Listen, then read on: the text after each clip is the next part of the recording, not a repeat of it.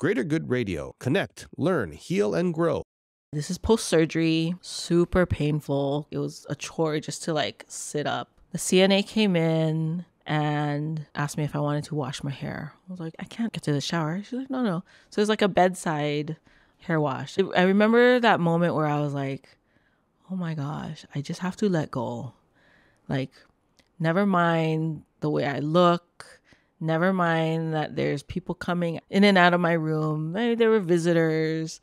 See i mean i didn't have my contacts on so maybe that was good because i couldn't see them. But having that cna her name was ina. She just so holy crap here she was just so loving. And now mind you cnas in the hospital and in caregiving situations are probably the lowest paid maybe the least technical expertise. But the way she made me feel just by washing my hair was so caring and loving that I was like, I gotta remember this because this is what I want to impart on other people in my job in healthcare. And that was like, I mean, she barely spoke English. She's like, I wash hair? I'm like, yeah. And I sat there and, right, I couldn't do anything. Tears are streaming down my face, just like now. But she's like, it's okay. I love your hair. I'm gonna do this. You'll feel better.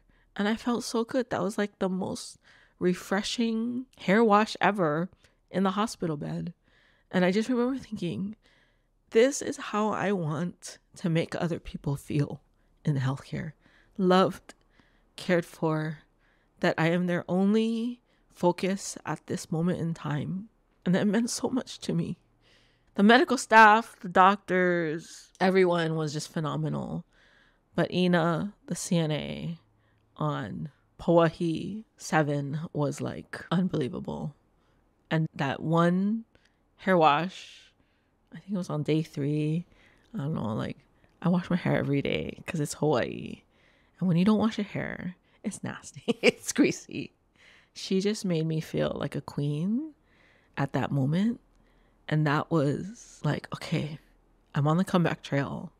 I have to get better because this is how I want others to feel in their darkest despair days.